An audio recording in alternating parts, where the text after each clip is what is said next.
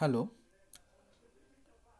আজকের ভিডিওটি হলো অ্যান্সার স্ক্রিপ্ট কি করে স্ক্যান করে সেটিকে মেল করা হবে নির্দিষ্ট মেল আইডিতে এবং সেটিকে গুগল ফর্মে কি করে আপলোড করতে হবে। বলার আগে বলে রাখি, আমি আশিস বিশ্বাস, বামনপুকুর হুমায়ুন কবির মহাবিদ্যালয়ের ইংরেজির অধ্যাপক। আজকের এই ভিডিওটি করছি স্টুডেন্টদের জন্য যারা কিনা অনলাইন এক্সামের সময় কি করে স্ক্যান করে সেটিকে মেল করতে হবে তাদের অ্যান্সার স্ক্রিপ্টগুলোকে এবং সেটিকে আপলোড করতে হবে নির্দিষ্ট গুগল ফর্মে সেটা নিয়ে একটু সমস্যায় পড়েছে ভালো করে তোমরা একটু দেখে নাও কীভাবে করবে, আশা করি ভিডিওটি দেখলে ভিডিওটির মাধ্যমে তোমরা তোমাদের সমাজ সমস্যার সমাধান করতে পারবে। তো তোমার এই টোটাল প্রসেসে দুটো পার্ট একটা হচ্ছে তাদের অ্যান্সার তোমাদের অ্যান্সার স্ক্রিপ্টগুলোকে স্ক্যান করা এবং তারপর সেই স্ক্যান যে ডকুমেন্ট সেটাকে পিডিএফে সেভ করে সেটিকে নির্দিষ্ট মেল আইডি দিয়ে মেল মেল করা এবং গুগল ফর্মে আপলোড করা। তো প্রথমে স্ক্যান করার জন্য যে জিনিসটি, যে অ্যাপটি আমি রেকমেন্ড করব, সেটা হচ্ছে অ্যাডব স্ক্যানার এইরকম একটা আইকন থাকবে অ্যাডব স্ক্যানারে এখানে ওপেন দেখাচ্ছে। তোমাদের ক্ষেত্রে যদি সেটা ফোনে ইনস্টল করা না থাকে, তোমাদের ক্ষেত্রে সেটা আপলোড বা ডাউনলোড কর অপশান দেখাবে। সেটা ডাউনলোড করে নিলে এই ওপেন অপশানটা ইনস্টল হয়ে যাওয়ার পর এই ওপেন অপশানটা দেখাবে। তোমরা সিম্পলি সেটা ওপেন করবে। তো ইনস্টল হয়ে যাওয়ার পরে ওপেন করার পর তোমাদের সবার প্রথম যেটা করতে হবে, তোমাদের যে অ্যান্সারটা যে লেখা অ্যান্সার প্রথম পেজটা একদম তোমাদের যে ইউনিভার্সিটি থেকে যে অ্যাডমিট কার্ডটা দেওয়া হয়েছে, সেটা স্ক্যান করবে। সেটা স্ক্যান করলে ফার্স্ট পেজটা একদম ইউনিভার্সিটি স্ক্যান পেপার হবে। তাহলে সেটাকে উপর ধরলে, ধরার পর নিচে দেখো একটা গোল বাটন রয়েছে, সেটা ক্লিক করলে ওটা চলে যাবে। ডান দিকে এক নাম্বার হয়ে পরের পেজটা তোমাদের ইনফরমেশন পেজ ইনফরমেশন পেজে দেখো semester name subject university registration number roll number paper code date of examination time of submission এগুলো সব থাকবে। এগুলো লিখে নেবে, লিখে নিয়ে সেইটাকে আপলোড করো, সেটাকে স্ক্যান করে দেবে। স্ক্যান করার পর তোমাদের অ্যাকচুয়াল যে অ্যান্সার্স পেজ যেখানে তোমরা অ্যান্সারটা লিখবে, সেই পেজটা তোমরা তারপরে প্রথম পেজটা তোমরা তারপরে নেবে। তো সবার প্রথম আমরা কি করলাম? এই অ্যান্সার পেজটাকে এরকমভাবে একইভাবে ক্লিক করলাম। করার পরে এটাও ই হয়ে গেল। আরেকটি জিনিস বলে রাখি, এখানে দেখো ডকুমেন্ট অপশানটা নীল হয়ে রয়েছে। ডকুমেন্ট অপশানটার উপরেই কিন্তু রাখবে। বুক বা আই কার্ড এই অপশানগুলোতে রাখবে না, তাহলে কিন্তু সমস্যায় পড়বে। পরের পেজটায় আমরা যাই। পরের পেজটা আমরা স্ক্যান করব। স্ক্যান করার সময় তোমরা অবশ্যই এই যে যে ফ্ল্যাশ বাটন সেটাকে অনও রাখতে পারো, আবার অফও রাখতে পারো। ক্লিক করলে সেটা অন অফ হয়ে যাবে। সেটা তোমাদের সুবিধা অনুসারে করবে। এটা ক্লিক করলে একটু বলে রাখি, তোমরা এই অ্যান্সার স্ক্রিপ্টটা যদি ভালো করে দেখো, দেখবে মার্জিন রয়েছে। মার্জিনের উপরে তোমাদের রেজিস্ট্রেশন নাম্বার তারপর রোল নাম্বার এবং তারপরে পেজ মার্কটা রয়েছে। পেজ মার্কটা ভালো করে দেখে নাও। যদি ধরো তোমাদের টোটাল দশ পেজ অ্যান্সার রয়েছে, অ্যান্সার পেজ, তাহলে সেক্ষেত্রে ফার্স্ট পেজটা হচ্ছে ওয়ান অফ টু সেকেন্ড পেজটা টু সরি ফার্স্ট পেজটা ওয়ান অফ টেন সেকেন্ড পেজটা টু অফ টেন থার্ড পেজটা থ্রি অফ টেন এরকম করে করে হবে। এখানে যেহেতু দুটো পেজ আছে, সুতরাং আমি ওয়ান অফ টু এবং টু অফ টু করে রেখেছি এইবার আমরা যেটা করব, সেটা হচ্ছে যেখানে গিয়ে জমা হচ্ছিল স্ক্যান হয়ে যাওয়ার পরে সেইটার উপরে ক্লিক করব। দেখো, এখানে সুন্দরভাবে দেখাচ্ছে, কিন্তু দেখো কতগুলো পেজ একটুখানি টেরা বেঁকা দেখাচ্ছে। তো এইটাকে বুঝতে গেলে কি করতে হবে? এখানে একটু স্ক্রল করে দেখো ক্রপ বলে একটা অপশান আছে। ক্রপটা যদি আমি ক্লিক করি, তাহলেই যে টেরা বেঁকা হয়ে রয়েছে, সেটাকে একটু ঠিক করে দেওয়া যাবে। সেটা নিজেদের মতো করে, সুবিধা মতো করে ঠিক করে নেবে। ক্লিক করলাম।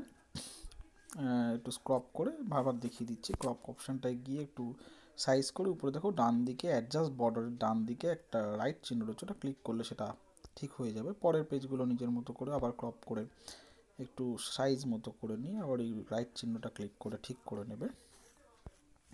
এরকমভাবে প্রত্যেকটা পেজই তোমরা চাই করতে পারবে, অসুবিধা নেই। একটু ছোটো বড় করে শেপ করে নিতে পারবে।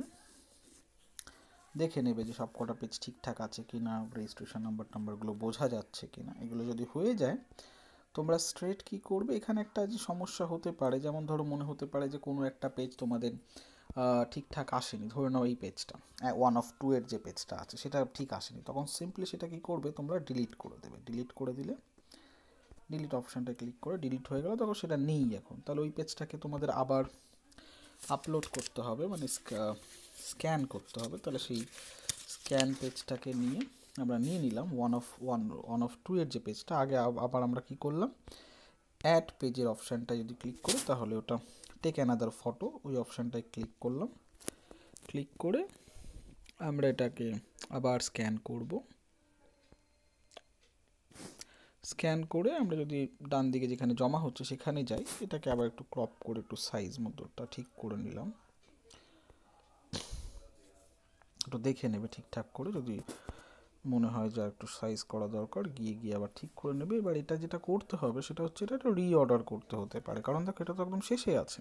কিন্তু শেষে তো থাকবে না, এটা তোমার মানে টাইটেল পেজের পরেই থাকবে। তো তখন কি করছে, দেখো রিঅর্ডার বলে যে অপশানটা রয়েছে রিঅর্ডার অপশানটা ক্লিক যদি করি সব কটা পেজই দেখাবে, তখন কি করবে যে লাস্টে পেজটা যেটা কিনা চার নাম্বার পেজ সেটা তিন নাম্বারে যাবে। সুতরাং ওইটাকে জাস্ট উপরে আঙুলটা ছোঁয়ালে ড্র্যাক করব, করে তার আগে নিয়ে যাব।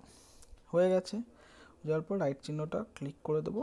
ক্লিক করার পর দেখো ওখানে উপরে বা একটা নাম দিতে হবে। নামটা কি দেব? যেহেতু এটা দেখো স্ক্যান যান thirty one two thousand twenty two যে অপশানটা দেখাচ্ছে, ওটায় ক্লিক যদি করি আমরা, তাহলে রিনেম বলে অপশানটা আসে। রিনেমটা সিম্পলি তোমরা কি করবে? ইংলিশ এমআইএল যেহেতু এটা ইংলিশ এমআইএলের জন্যই স্টুডেন্টের জন্যই হচ্ছে। সুতরাং ইংলিশ এমআইএল লিখলে, তারপর হাইফেন দিয়ে নিজের নাম,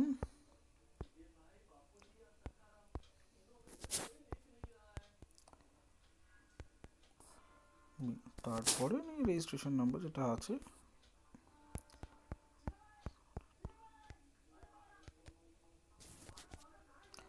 এরকমভাবে নিজের দিলে দিয়ে জাস্ট সেটাকে রিনেম করে অপশান দিলে, তারপরে পিডিএফ যে সেভ পিডিএফ রয়েছে ওটা ক্লিক করলে এটা সেভড হয়ে যাবে।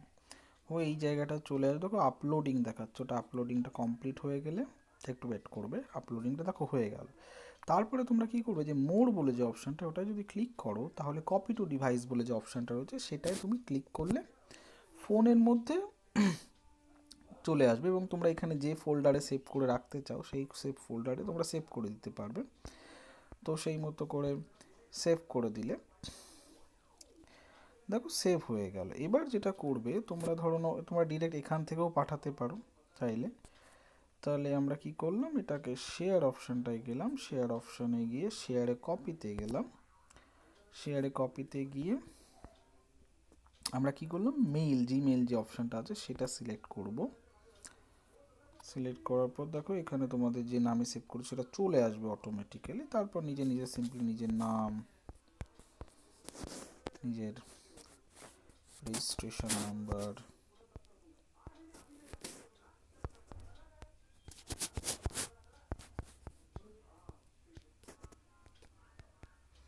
Roll number roll number মানে ইউনিভার্সিটি থেকে যে অ্যাডমিটেড দিয়েছে সে অ্যাডমিটেড রোল নাম্বার নাম্বারটা যেটা থাকবে সেটা সাবজেক্ট যেটা আছে পেপার ইংলিশে মানে এরকম করে সিম্পলি সেটা কি করছে? আমাদের কোন মেলটা পাঠাতে হচ্ছে? BH K M ENG two thousand twenty BH K M ENG two thousand twenty এই মেলে কিন্তু আমাদের মেল করতে হবে। বলে রাখি, যারা মেল করছ, তারা অবশ্যই যদি পরীক্ষা এগারোটা থেকে শুরু হয়, তাহলে দুটোর মধ্যে মেল করতে হবে তোমাদেরকে। তারপরে করলে কিন্তু খাতা ক্যান্সেল হয়ে যাবে। আর যদি পরীক্ষা দুটো থেকে স্টার্ট হয়, তাহলে পাঁচটার মধ্যে তোমাদের মেল করতে হবে, নইলে কিন্তু খাতা ক্যান্সেল হয়ে যাবে। সুতরাং এটা একটু মাথায় রাখবে, একটু আগে আগে শুরু করবে প্রসেস প্রসেসটা নইলে কিন্তু সমস্যায় পড়বে।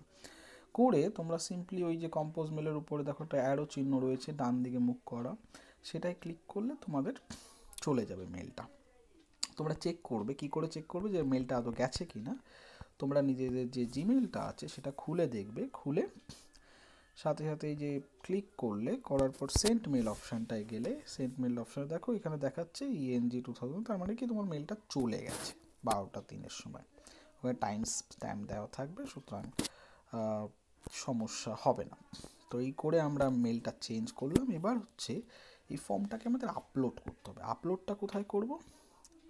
এই যে লিঙ্কটা রয়েছে লিঙ্কে ক্লিক করলাম। লিঙ্কটা থেকে তোমাদের চলে আসবে আস্তে আস্তে।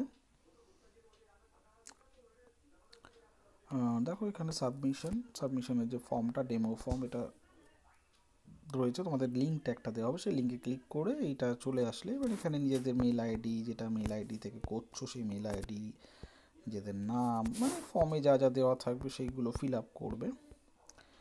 ডেট অফ এক্সাম যে ডেটটা এক্সামটা হচ্ছে, সেই ডেটটা চলে আসবে। সেটা সেট করবে। University registration number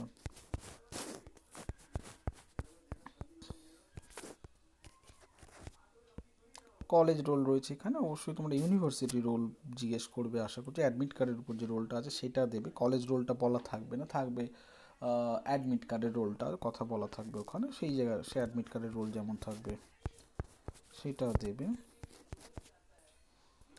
আর তারপর পেপার কোড পেপার কোড হচ্ছে তোমাদের কি আছে? একটু মাথায় একটু জেনে নাও।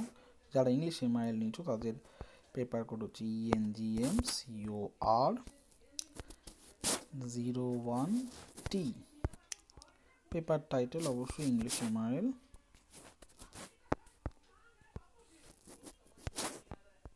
এটা যারা ইংলিশ ইমেল নিচ্ছে তাদের কথা বলছি। এবার লাস্ট অপশনটা যে আপলোড ফাইল আপলোড ফাইল করলে দেখো এখানে upload select files from your device আমরা আগেই কপি করে রেখেছি ডিভাইসের মাথায় আছে তো? সেইটা সিলেক্ট অপশানটায় ক্লিক করলে দেখো ফাইলস বলে একটা অপশান রয়েছে। ক্যামেরাগুলো চুজ করবে না, কারণ তাহলে ছবি তুলতে হবে। ছবি তো তুলছি না, আমরা ফাইলসটা থেকে সিলেক্ট করব। দেখো একদম আমরা যদি তুমি মানে রিসেন্টলি সেভ করব যে ফাইলটা সেই ফাইলটা চলে আসবে অটোমেটিক্যালি সামনে। তো তো সেটা থেকেই করতে পারব আমরা। তো সেইটা থেকে দেখে নাও যে নামে সেভ করেছ, সেই নামের ফাইলটা এখানে আছে কি না সেটা একটু যদি না আসে সার্চ করে দেখতে হবে আমাদেরকে বিভিন্ন অপশানসে গিয়ে। সেটা আসলো, সেটাকে আমরা সিলেক্ট করে নিলাম, করে দেখো আপলোড ক্যান্সেল আর আপলোড আপলোড বলে অপশানটা সেটাই আপলোড করলাম। তো সেটা আপলোড করছি।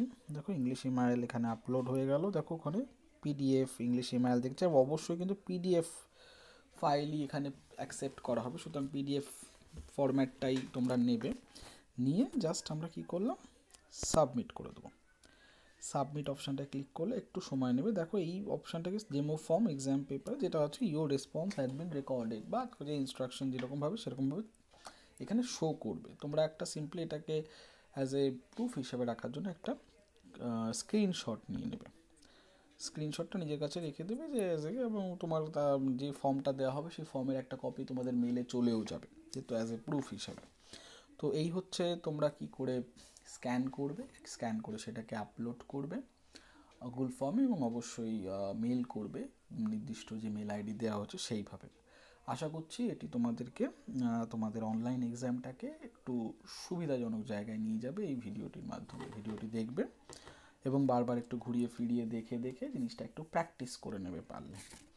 ঠিক আছে থ্যাংক ইউ এই পর্যন্তই best of luck for your exam